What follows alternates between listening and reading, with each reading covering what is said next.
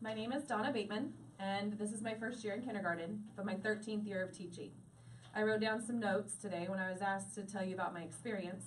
I thought it was important to share with you that this program has changed me. So, and that changes my students. So, here's some ways that this program has changed me. So, first of all, learning in my classroom is real, it's relevant, and it's meaningful. It gives it gave me the opportunity to give up control. I am no longer in control of the remote to turn on the projector. I am no longer in control of the video we are watching. The GoNoodle dance that we do, they control it. So I've given up my control. We talked today about giving up control of the tape, of the sharpener, of the stapler. Those are no longer mine, those are theirs. Um, something else. The students are the experts.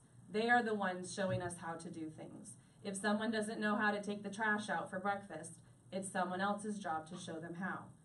These are things that I would have just done, and now I kind of just sit back. Something else, all power is given to the students. They tell me what they want to learn about, and that's what we do. I expect more, and my expectations are high. Things that my second graders couldn't do last year, my kindergarteners do with ease. I read chapter books to kindergartners, and they love them. Sometimes I think they're not listening.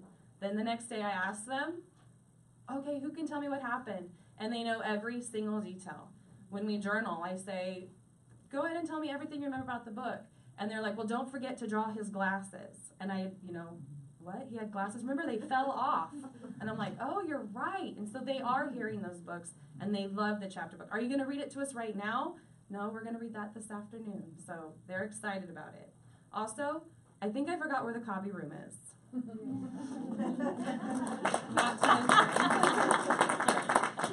I'm happy. Um, my teammate and I, actually, yesterday were laughing and having a good time and we were smiling.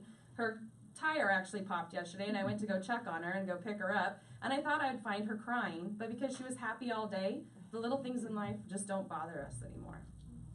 So, those are the some of the ways that it changed me. So, let's see how does that change the students? So, increased vocabulary. The words I hear coming out of my students' mouths, I'm like, did I teach them that? No, they teach it to each other. Teamwork. If someone gets hurt on the playground, I'm turning around and I look and they're all putting band-aids on each other. And I'm like, okay, well that's nice. Should I, did you guys wash it? you know, I send home a message, you might want to check that out tonight because I don't know if it got soap and water. Um, independence, like I said, my second graders couldn't do things on their own. My kindergartners can do things. Miss Bateman, we need to make an oven so we can make our pizza. Great, how should we make an oven? Well, we need a box. Where are we going to get the box from? Well, we have boxes over here. And then the next thing I know, I turn around and they've already made the oven without me. In second grade, I want to write the sentence, I like the tree. How do I start? Miss Bateman, can you sit with me and do it?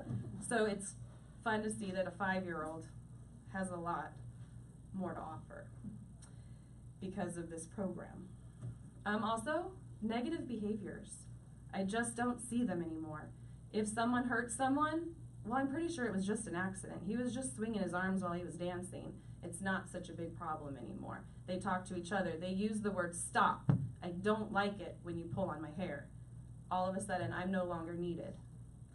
My kids are happy. So, in, in all, this is because of the kindergarten experience. Today, I said I was given a gift of a student that was very difficult. I also would like to say the kindergarten experience has been my gift. So thank you.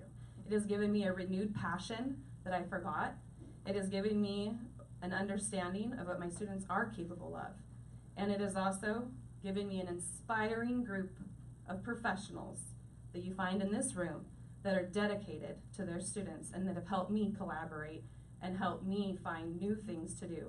I think tonight we learned some great ideas about putting needles in a pumpkin to make a geoboard on a pumpkin. These are great ideas that without this team, we never would have had. So thank you.